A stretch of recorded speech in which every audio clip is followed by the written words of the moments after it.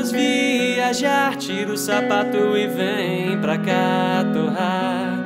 Nossa grana em bebida, gasolina andar Sem foco, sem lugar Só pra te fazer feliz, te fazer gargalhar Vamos esquecer do mundo e pensar Que por um instante só existe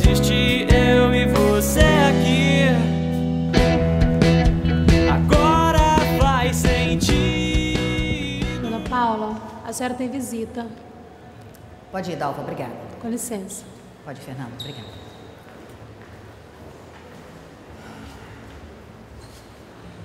Eu quero as vans de volta. Eu não vou devolver as suas vans.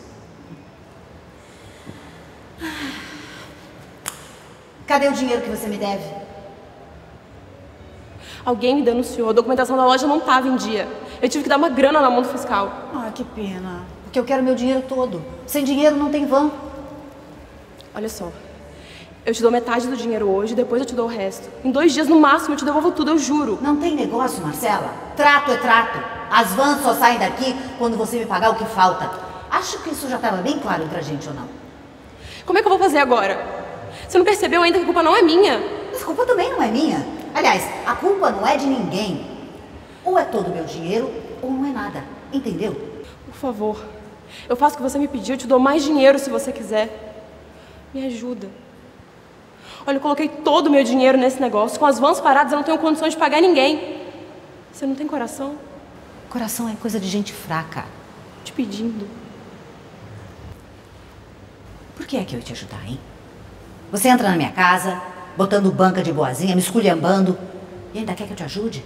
Por que é que eu ia fazer isso, me diz? Queria ver se fosse um dos seus empregados que você trata como escravo. Se ele não te desse o dinheiro que você combinou com ele, o que é que você ia fazer, hein? Você só tá falando isso porque você nunca teve que trabalhar para ganhar dinheiro. Você sempre recebeu tudo de mão beijada do seu pai. Você não sabe o que é passar fome. Não sabe o que é trabalhar duro. E agora tá aí querendo ganhar o seu dinheiro dessa forma. Olha aqui. Já ouviu besteira demais por hoje, hein? Você quer saber de uma coisa? Eu quero meu dinheiro todo agora. Você tá sendo baixa. Eu só tô seguindo o seu exemplo, querida. Você pensa como pobre. Ai, desculpa. Você é pobre, né? Isso nunca vai mudar. Um dia, Paula, você ainda vai vir me procurar e pedir a minha ajuda. E quando esse dia chegar, eu vou virar as minhas costas para você, assim como você virou para mim. E eu vou ficar feliz, muito feliz de te ver na pior. Aproveita bem o seu dinheiro, porque ele não vai durar para sempre. Eu mesma vou garantir isso. Vou fazer você perder tudo, Paulo. A sua vida vai virar um inferno. Sai daqui. Sai daqui! Agora!